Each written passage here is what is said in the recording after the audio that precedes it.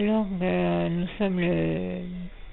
mardi 22 juillet 2014 et en pensant, en repensant à une discussion que j'ai eue avec un frère en Christ, euh, ça m'a donné envie de vous donner un petit témoignage. Parce que c'est un frère en Christ euh, qui est à la base comptable, je crois, et, et, surtout, je considère compétent et qui a travaillé pendant des années, des années dans une société euh, qui s'est retrouvé à avoir de, sérieux problèmes structurels, on va dire, et, qui du jour au lendemain s'est retrouvé à perdre son emploi. Mais euh, je vois la valeur inestimable de cet homme euh, et comment Dieu l'aime. Je vois comment Dieu l'aime. Je vois la valeur de cet homme aux yeux de Dieu et à son cœur. Et là où notre, nos sociétés, soi-disant modernes, euh, je considère son, son, son, dans un système qu'on peut considérer comme étant très ingrat, puisque j'ai eu l'occasion de voir sous mes yeux des gens qui ont travaillé, par exemple, dans l'administration et qui, euh, qui ont, pendant plus de 30 ans, 40 ans, qui ont été médaillés, euh, qui ont été, qui, qui, étaient professionnels et compétents. Euh, du jour au lendemain se faire débarquer par leurs administrations, trahir par tout le monde euh, à leur bureau, euh, vivre les pires choses hein, sur le plan professionnel.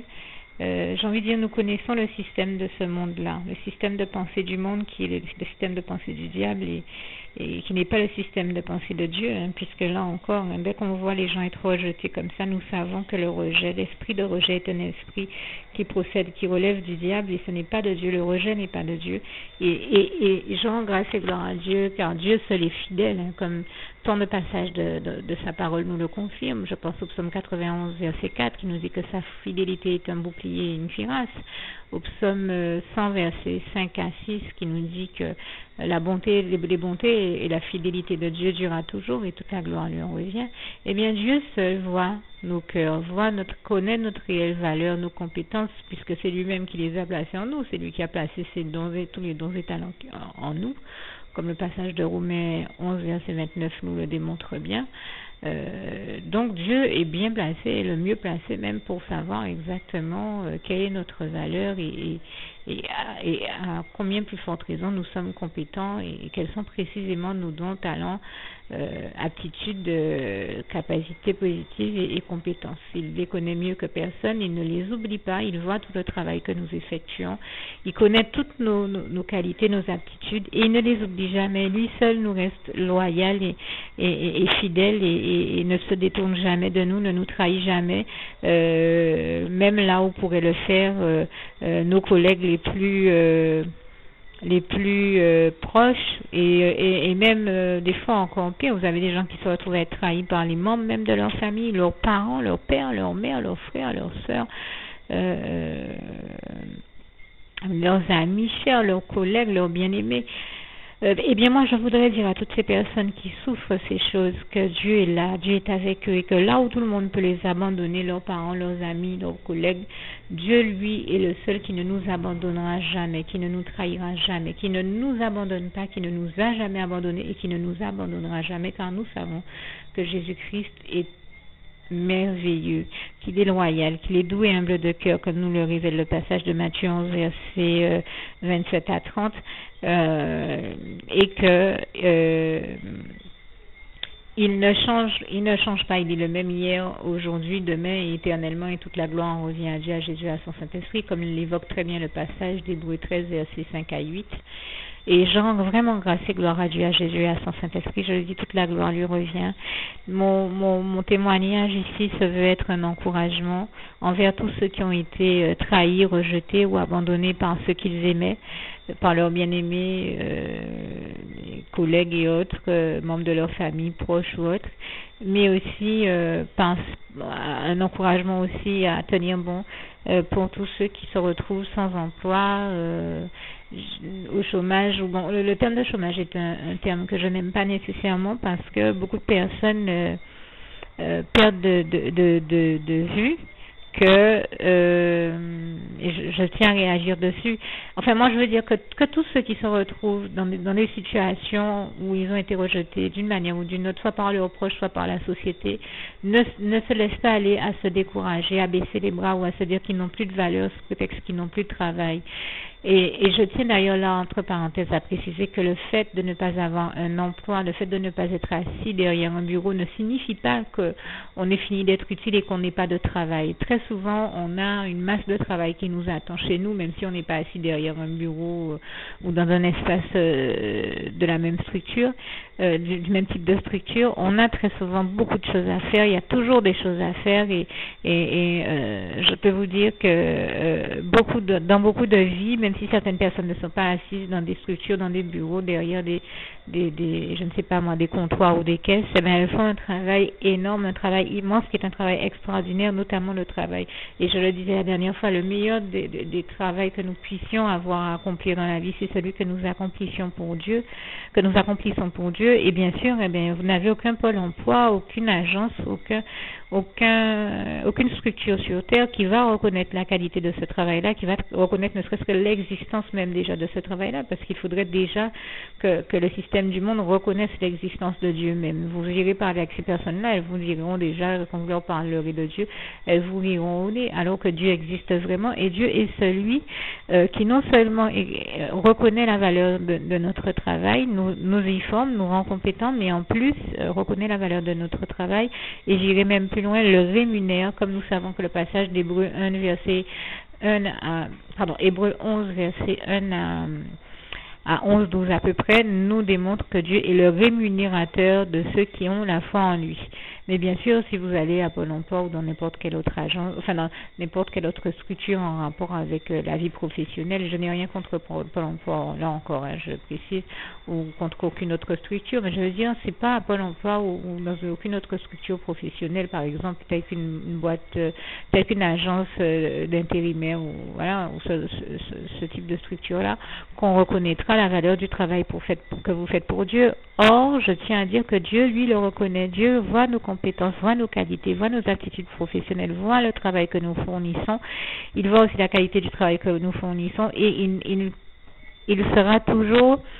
euh, euh, fidèle et loyal parce qu'il l'a toujours été et que c'est dans sa nature pour nous récompenser car Dieu a le désir de nous bénir, de nous voir heureux et épanouis, comme le passage de 3 Jean verset 2 nous le décrit bien. Donc, ne perdez pas de vue que, me, que, même si personne sur terre ne reconnaît votre valeur, Dieu, lui, voit votre cœur, voit votre travail, voit votre valeur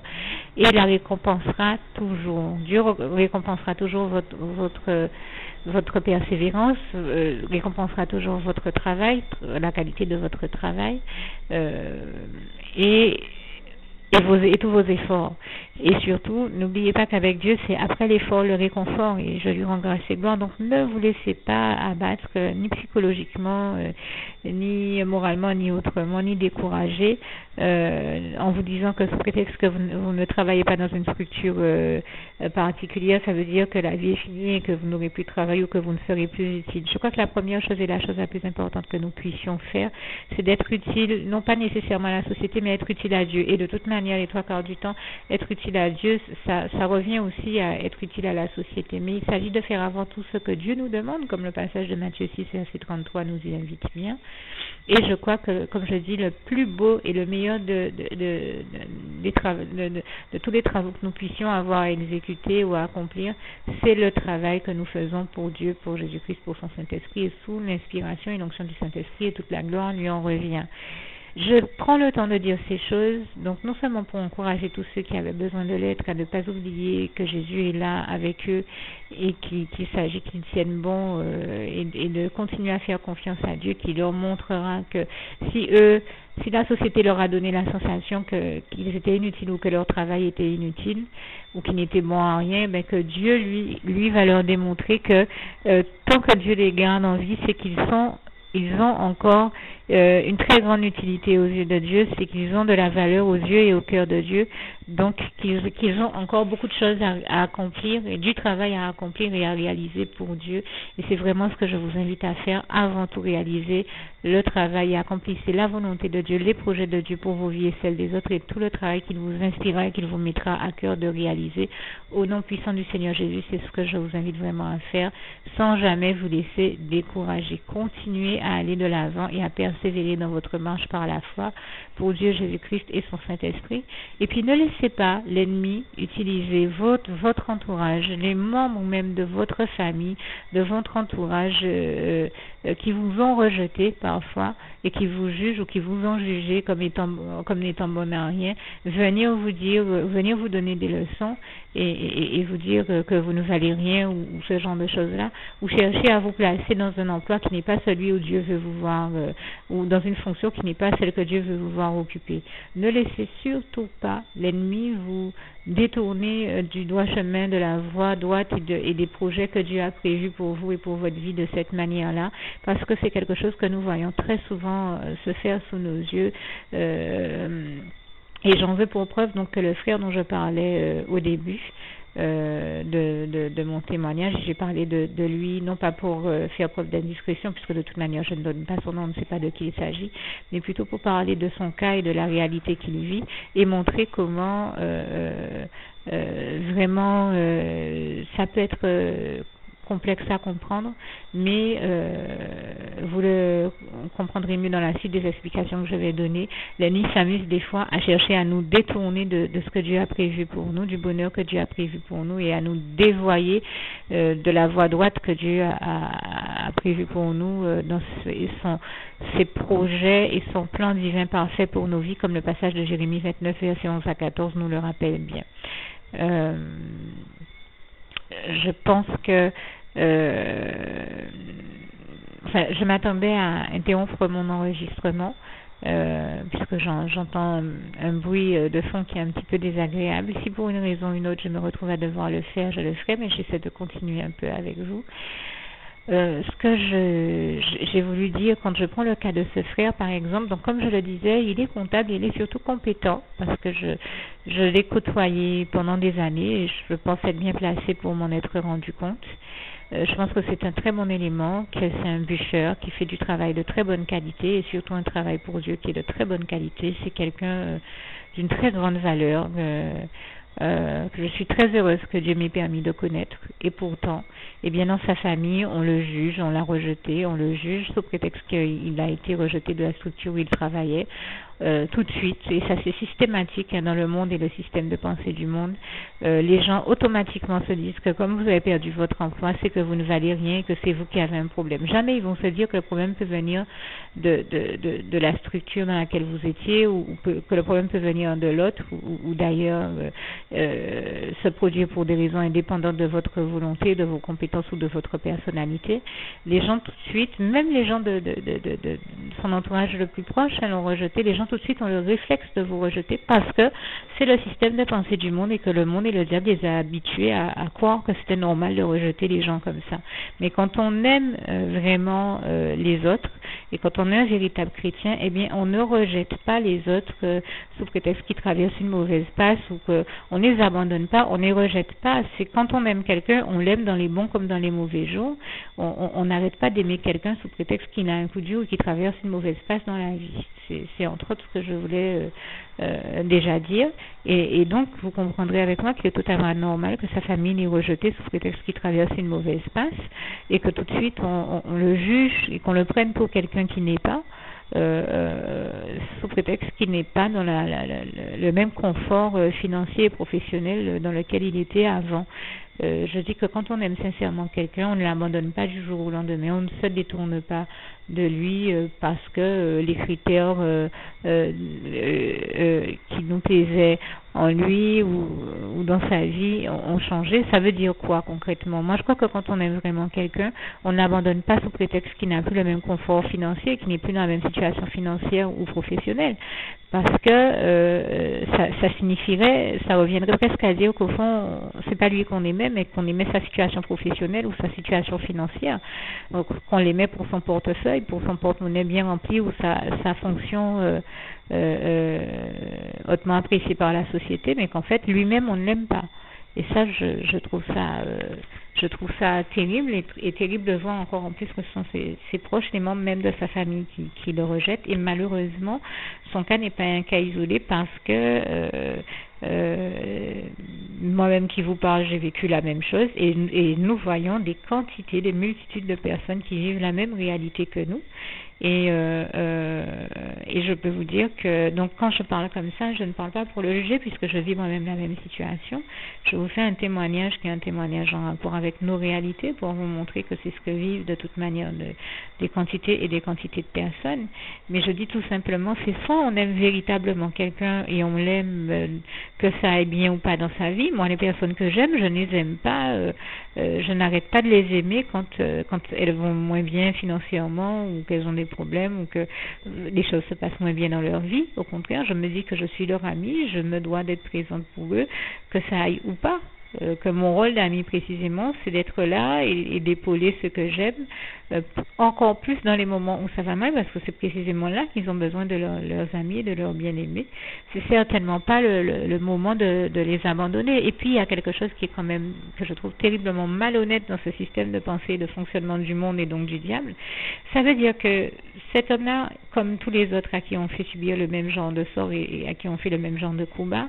on a considéré qu'il était compétent et valeureux pendant, euh, je ne sais pas moi exactement combien de temps il est resté dans ce poste, on va dire mettons 10 à 20 ans, ou sans parler de son cas, euh, le cas d'autres personnes dont je vous parlais tout à l'heure, qui sont fonctionnaires, qui ont été fonctionnaires, que j'ai vu sous mes yeux de fonctionnaires pendant 30, euh, 40 ans, médaillés et consorts. Donc ça veut dire qu'on les a médaillés, on a reconnu leur valeur professionnelle, elles ont travaillé pendant 30, 40 ans euh,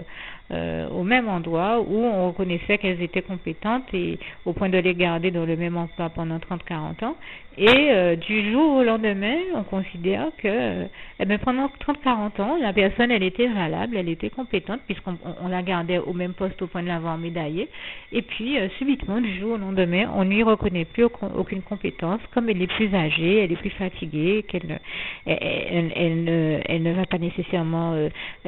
pouvoir faire preuve du même dynamisme ou je n'en sais rien, euh, pour x, y, z raison, euh, on se détourne totalement d'elle et la compétence qu'elle avait euh, et qu'on lui reconnaissait du jour au lendemain, on ne lui reconnaît plus. On, ne reconnaît plus la valeur qu'on lui a toujours reconnue pendant 40 ans. Mais il faut quand même il faut quand même pas exagérer, je trouve que c'est exagéré. Ça voudrait dire que quelqu'un est bien pendant 40 ans et puis subitement du jour au lendemain, la personne qui était bien n'est plus aussi bien qu'avant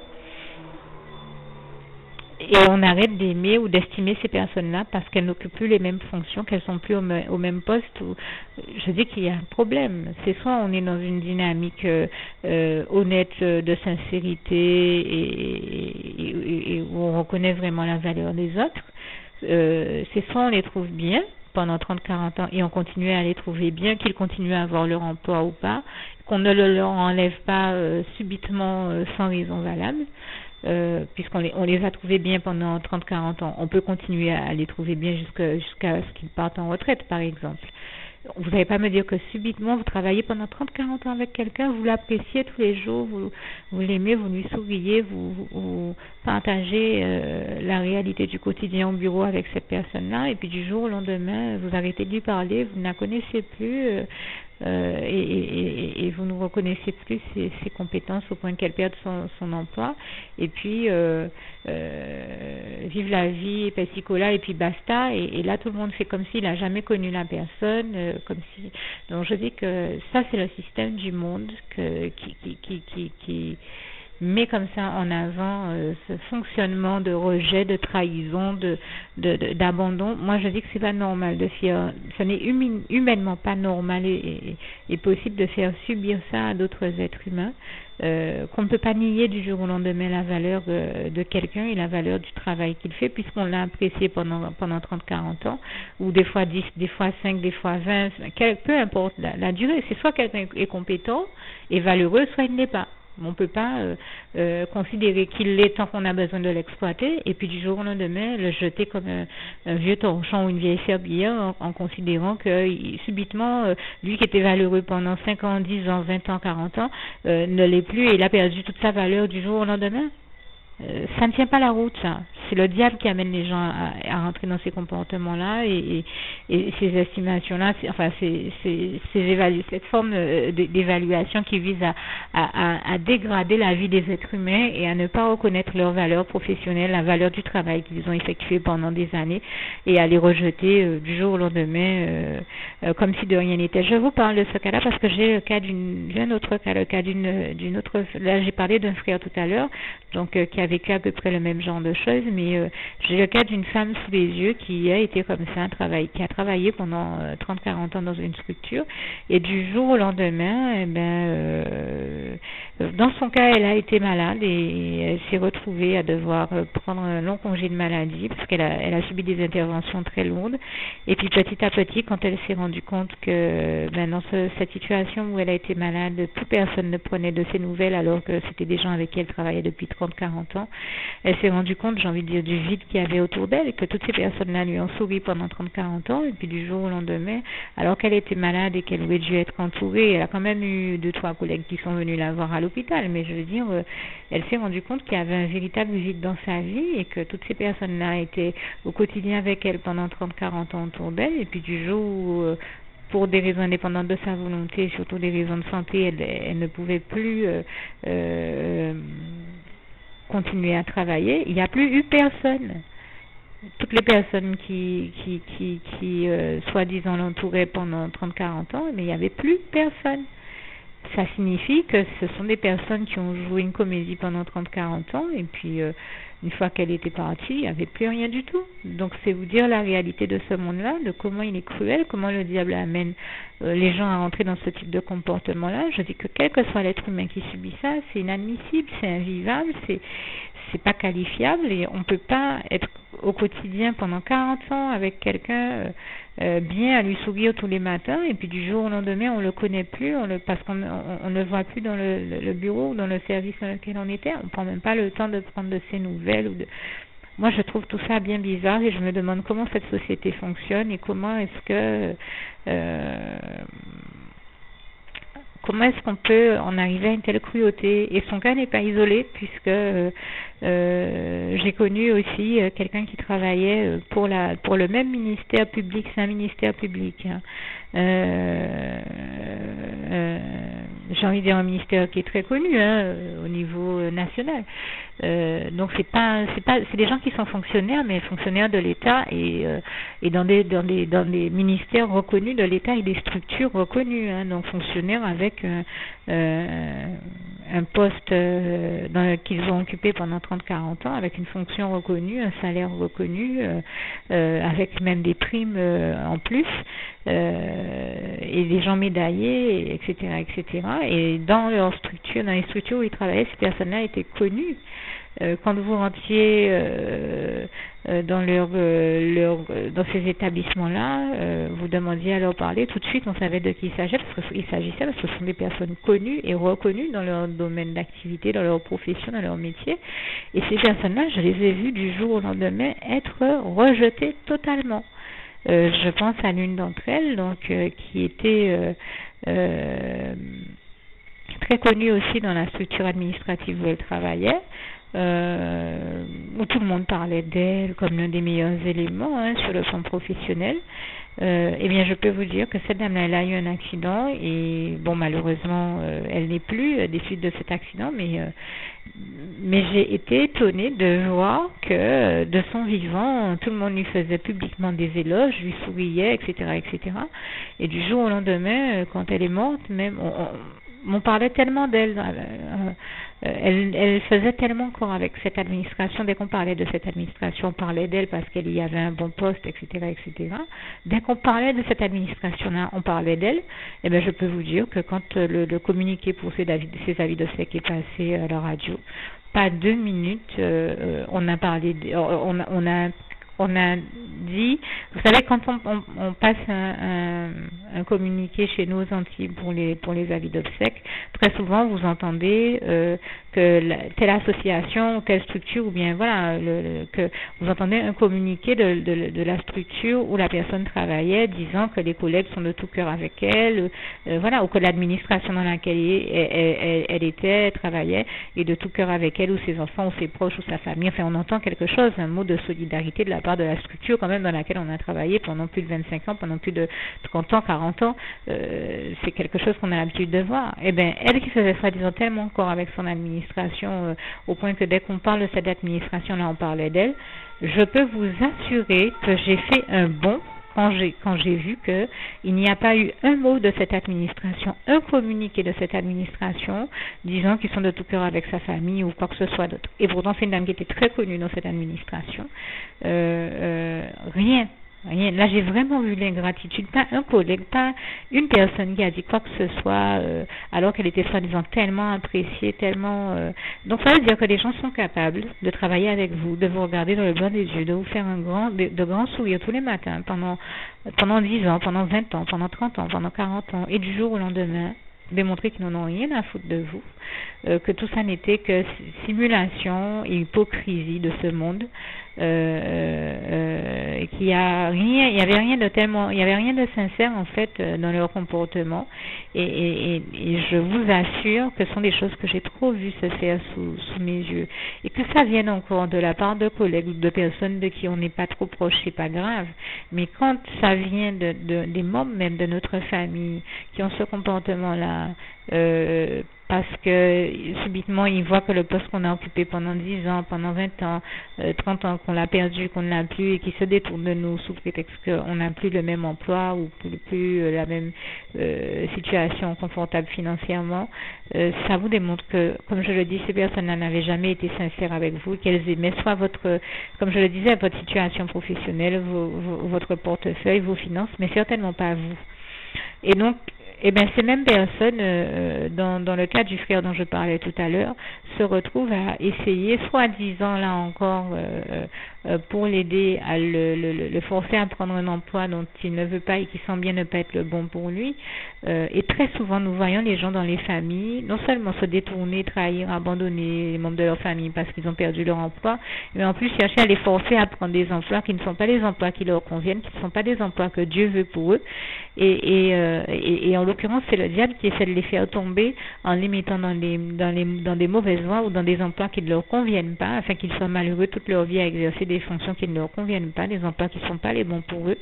et pour gâcher leur vie. Donc si je vous donne tous ces témoignages, c'est pour vous dire, n'allez surtout pas euh, laisser le diable vous entraîner sur ces mauvaises voies, dans ce, dans ce type de, de, de cauchemar, de situation cauchemardesque-là, où vous vous retrouvez à exercer un emploi qui n'est pas celui que Dieu avait prévu pour vous, à être dans un, un domaine d'activité professionnelle qui n'est pas celui qui vous convient, en plus à être entouré de personnes qui n'en ont rien à foutre de vous, qui vous font tous les jours de grands sourire, mais qui en fait euh, n'en ont vraiment rien à faire de vous, pour qu'à la fin de votre vie, en fin de carrière ou au moment de la retraite, vous vous rendiez compte que votre vie a été vide de sens, que ça a été une existence vide, de sens et que et que et qu'en fait euh, euh, vous aviez des gens qui vous voyaient tous les jours et vous faisaient de grands sourires, mais qui a jamais rien eu de, de sincère et de profond dans leur comportement avec vous, euh, parce que vous êtes laissé égarer par le diable qui vous a fait vous retrouver à, prendre la première proposition d'embauche qui, qui, qui, qui, se présentait à vous, qu'il venait vous présenter, parce que nous savons que le diable est le seul qui fait toujours des propos euh, des propositions indécentes et, et, et malvenues, qui, mal, maladéquates, qui ne sont pas les bonnes pour nous, puisque Dieu seul est dans l'amour et la bienveillance avec nous et toute la gloire lui revient. Donc ne laissez pas le diable encore vous aveugler, vous, vous, vous séduire et, et vous amener la voie de la perdition en, vous forçant à accepter un emploi qui n'est pas celui que Dieu veut pour vous. Quand vous savez que Dieu vous a déjà indiqué autre chose, révélé autre chose pour votre vie, ne laissez pas le diable vous perdre et vous amener sur la voie de la perdition en acceptant un travail qui n'est pas le bon pour vous. Même si le diable, pour cela, utilise des membres de votre famille ou d'autres personnes dans votre entourage pour vous mettre la pression et essayer de vous forcer à prendre un emploi qui n'est pas celui euh, que Dieu veut pour vous ou à rentrer dans une formation qui n'est pas celle que Dieu veut pour vous, ne laissez surtout pas le diable vous entraîner dans ces travers-là. Et surtout comprenez aussi le bon sens de mon propos. Je ne suis certainement pas en train d'inviter qui que ce soit à, vivre dans le, le, farniente. Nous savons que l'oisiveté est mère de tous les vices. Je n'invite personne à à tomber dans ce vice-là. Euh, il s'agit, dans le sens de mon propos, de faire les formations que Dieu nous invite à faire, parce que Dieu est celui qui nous forme et qui nous donne les meilleures formations et celles qui nous conviennent le mieux, et je lui en rends grâce et gloire, et à occuper également les emplois ou les fonctions que Dieu veut nous voir occuper, et certainement pas celles que le diable veut nous faire ou nous, nous voir occuper. Euh, nous avons à faire le travail que Dieu attend de nous que nous fassions, certainement pas le travail que le diable voudrait nous voir faire, qui est, qui est toujours le, mauvais pour nous, alors que Dieu seul a le bon emploi pour nous, la bonne formation pour nous. Donc il s'agit de faire avant tout ce que Dieu nous demande et rien d'autre. C'était le sens de mon propos, de mon encouragement, que j'espère vous avez compris en, tout bon sens et en toute bonne intelligence, euh, tout comme j'espère également que vous avez donc compris que c'est Jésus-Christ qui donne du sens à nos existences. Et je vous invite d'ailleurs à ce propos, si vous avez envie de découvrir euh, le véritable bonheur d'appartenir et de servir Dieu Jésus-Christ et son Saint-Esprit, ainsi que de le voir redonner tout son sens à votre existence, eh bien, euh, n'hésitez pas à faire donc la prière qui va suivre juste à la fin de, de, de, cet enregistrement que je termine donc ici en vous disant tout simplement le souhait de mon cœur pour vous. Philippiens 4, verset 7, que la paix de Dieu qui surpasse toute intelligence garde vos cœurs et vos pensées en Jésus-Christ. À bientôt. Que Dieu vous bénisse et vous garde. À bientôt.